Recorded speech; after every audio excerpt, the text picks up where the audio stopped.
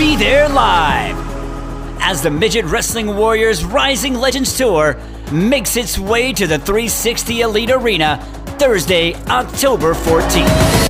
The Midget Wrestling Warriors will be live and in action as titles are on the line. You'll see two title matchups as the Warriors Women's Championship is up for grabs, as well as the World Championship itself.